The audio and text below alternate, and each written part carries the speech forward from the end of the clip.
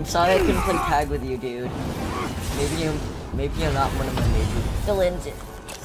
No room to play tag. He doesn't stand a chance!